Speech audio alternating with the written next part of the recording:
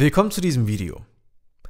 Karl hat sich drei Säcke Hamsterfutter für seinen Hamster gekauft und dafür 11,37 Euro bezahlt. Er möchte wissen, wie teuer sieben Säcke Futter wären, hat aber keine Lust, mit Dreisatz zu arbeiten. Wie lösen wir das dann? Das ist ja eigentlich eine typische Dreisatzaufgabe, wie wir sie von direkt proportionalen Zuordnungen kennen. Es gibt aber auch noch einen weiteren Weg, eine solche Aufgabe zu bearbeiten, und das ist der Weg über sogenannte Verhältnisgleichungen. Wir schauen sie uns jetzt einmal für direkt proportionale Zuordnungen an. In diesem Beispiel stellen wir fest, dass die Zuordnung natürlich direkt proportional ist, denn die Anzahl der Säcke, die ich kaufe, ist proportional zum Preis, wenn wir davon ausgehen, dass es keine besonderen Sparangebote gibt. Und für solche direkt proportionalen Zuordnungen gilt die Quotientengleichheit. Darüber haben wir in einem der vorigen Videos schon einmal gesprochen. Kurz gesagt bedeutet das, dass der Quotient zugeordnete Größe geteilt durch Ausgangsgröße immer gleich sein muss. In unserem Beispiel heißt es, der Quotient 11,37 Euro geteilt durch 3 ist das gleiche wie unser gesuchter Preis durch 7. Also immer zugeordnete Größe durch Ausgangsgröße. Dieses Fragezeichen in der Gleichung, das ist allerdings nicht besonders geschickt. Stattdessen schreiben wir einfach x. Jetzt müssen wir x ausrechnen. Das schaffen wir am einfachsten, indem wir die 7, die unter dem x steht, auf die andere Seite der Gleichung verfrachten. Dazu rechnen wir mal 7 auf beiden Seiten der Gleichung mal 7 gerechnet, erbringt dann diese Darstellung. x, eben nicht mehr durch 7 geteilt, ist das gleiche wie 11,37 Euro geteilt durch 3 und dann eben mal 7. Die rechte Seite rechnet man dann einfach schriftlich aus oder übergibt sie dem Taschenrechner. Die Lösung jedenfalls ist 26,53 Euro. Wir haben also die gesuchte Größe ausgerechnet, indem wir schlicht und ergreifend die Quotientengleichheit einmal aufgeschrieben haben. Apropos aufschreiben. Das Beispiel würde ich mir jetzt einmal in den Hefter übernehmen.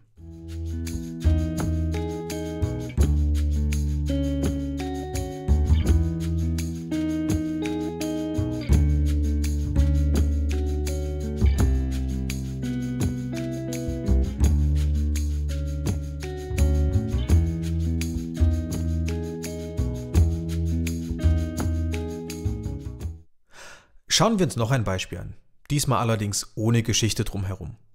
Die Zuordnung ist direkt proportional. Berechne die fehlenden Größen durch eine Verhältnisgleichung. Wichtig ist hierbei die Eigenschaft direkt proportional. Wir können also erneut die Quotientengleichheit anwenden und eine solche Verhältnisgleichung aufstellen. Und damit gehen wir die Beispiele der Reihe nach durch. Immer y durch x. Also 27 durch 6 verhält sich wie ein unbekanntes y zu 8. Diese Aufgabe lösen wir erneut, indem wir einfach eine Zahl auf die andere Seite bringen, in dem Fall die 8. Und das geht durch Multiplikation, also auf beiden Seiten mal 8. Daraus entsteht dann die Gleichung y ist gleich 27 Sechste mal 8. Hier kann ich nun über Kreuz kürzen, nämlich die 6 gegen die 8. Übrig bleiben 3 und 4. Und das erbringt dann das Ergebnis von 108 Dritteln. Und das ist nichts anderes als 36. Soweit, so gut. Wir können also die 36 als Lösung in die Tabelle eintragen. Im zweiten Fall sieht es ein klein wenig anders aus. Hier haben wir nicht das x vorgegeben, sondern das y in diesem Fall mit 45. Trotzdem schreiben wir zuerst die Verhältnisgleichung auf. Also wieder 27 durch 6 ist das gleiche wie 45 durch unser unbekanntes x. Immer zugeordnete Größe durch Ausgangsgröße. Aber jetzt können wir einfach einen Trick anwenden. Und zwar benutzen wir die Reziproke. Das bedeutet, wenn zwei Brüche gleich sind, dann sind auch ihre Kehrwerte gleich. aus der Verhältnisgleichung 27 Sechste ist gleich 45 durch x, folgt also 6 27 ist das gleiche wie x durch 45. Eine solche Gleichung haben wir aber schon zweimal gelöst. Wir müssen wieder nur eine Zahl auf die andere Seite schaffen. Also auf beiden Seiten mal 45. Es ergibt sich die Gleichung x ist gleich 6 mal 45 durch 27. Das ist das gleiche wie 6 27 mal 45, nur ein bisschen anders aufgeschrieben. Das sind dann 270 27 und hier sieht jeder, dass sich dahinter die Zahl 10 versteckt. Wir können also auch die 10 als Lösung in die Tabelle eintragen. Damit ist auch klar, wie die letzte Zahl auszurechnen ist. Wir schreiben wieder eine Gleichung auf. 27 Sechstel ist gleich 60 durch x. Wir wenden wieder den Reziproke-Trick an, schreiben also die Kehrwerte auf. 6 27 ist gleich x durch 60. Und wieder schaffen wir die 60 auf die andere Seite.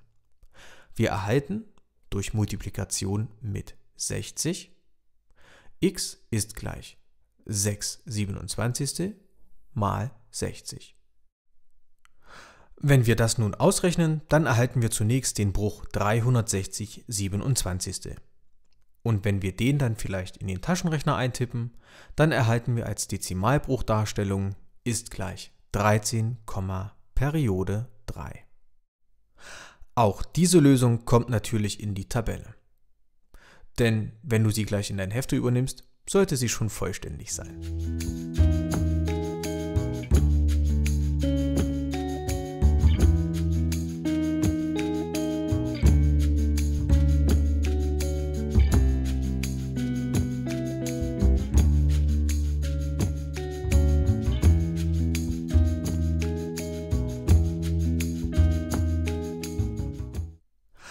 Bei indirekt proportionalen Zuordnungen funktioniert das Ganze etwa ähnlich.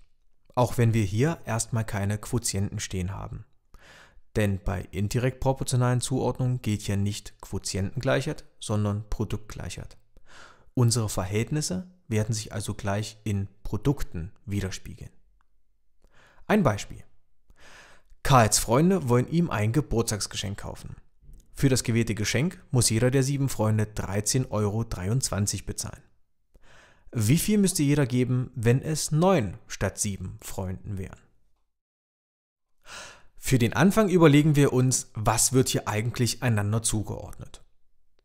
Die Ausgangsgröße ist die Anzahl der Freunde und die zugeordnete Größe ist der Anteil am Preis, den jeder Freund bezahlen muss. Uns ist völlig klar, wenn mehr Freunde sich beteiligen, wird der Preis für den Einzelnen geringer. Das ist also eine indirekt proportionale Zuordnung. Für indirekt proportionale Zuordnungen gilt aber bekanntermaßen die Produktgleichheit. Und mit der werden wir jetzt arbeiten. Produktgleichheit bedeutete ja, dass das Produkt von Ausgangsgröße und zugeordneter Größe immer gleich ist. In unserem Fall ist also 7 mal 13,23 Euro gleich 9 mal der Preis für die neuen Freunde, die sich beteiligen. Den nennen wir hier einfach klein p für Preis. Wir müssen jetzt die 9 auf die andere Seite schaffen, um das p zu bestimmen. Das ist aber keine große rechnerische Hürde. Wir müssen einfach auf beiden Seiten der Gleichung durch 9 teilen. Daraus ergibt sich diese Darstellung. P ist gleich 7 mal 13,23 Euro geteilt durch 9. Ich glaube, man muss sich an der Stelle nicht schämen, wenn man den Taschenrechner zur Hilfe nimmt. Wir tippen also ein den Bruch 7 mal 13,23 geteilt durch 9 und erhalten das Ergebnis 10,29. Damit wäre dieses Problem auch schon gelöst. Und wir haben gleichzeitig erkannt, dass wir auch für indirekt proportionale Zuordnungen solche gesuchten Größen mit nur einer Gleichung herausfinden können. Mich überzeugt das, deswegen würde ich das auch abschreiben.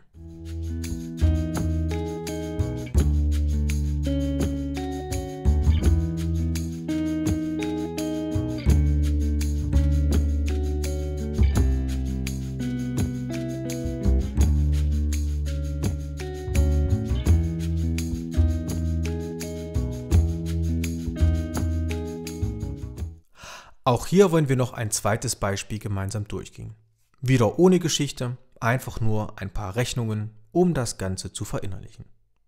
Wir haben eine indirekt proportionale Zuordnung gegeben. Und auch hier sollen wir mit einer solchen Verhältnisgleichung arbeiten. Wir wissen ja, für indirekt proportionale Zuordnungen gilt die Produktgleichheit. Und wir werden jede der drei Aufgaben mit der Produktgleichheit lösen. Dazu schauen wir jetzt in die Tabelle. Die erste gesuchte Größe ist das y bei der 7,5 an der Stelle vom x. Wir schreiben das Produkt x mal y auf als 4 mal 10,5, denn das ist gegeben. Und das ist das gleiche wie 7,5 mal unser gesuchtes y. Auch hier können wir die Aufgabe lösen, indem wir einfach die 7,5 auf die andere Seite der Gleichung bringen. Wir teilen also durch 7,5. Dann folgt y ist gleich 4 mal 10,5 durch 7,5. Auch diese Aufgabe übernimmt natürlich wieder der Taschenrechner. 4 mal 10,5 geteilt durch 7,5 bringt dann das Ergebnis 28 Fünftel bzw. 5,6. Dieses Ergebnis übernehmen wir dann in die Tabelle. Eine Stelle von y kommt also 5,6.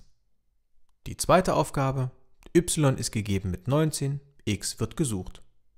Es ist also hier 4 mal 10,5 das gleiche wie x mal 19.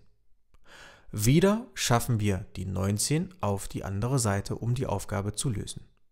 Es ergibt sich, x ist gleich 4 mal 10,5 geteilt durch 19. Auch diese Aufgabe übergeben wir dann dem Taschenrechner, erhalten hier allerdings nur ein näherungsweises Ergebnis. 4 mal 10,5 durch 19 ist ungefähr 2,21. Das Ergebnis kommt natürlich wieder in die Tabelle.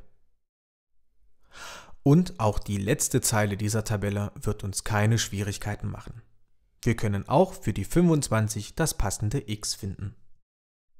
Wieder stellen wir eine Gleichung auf. 4 mal 10,5 ist in diesem Fall x mal 25.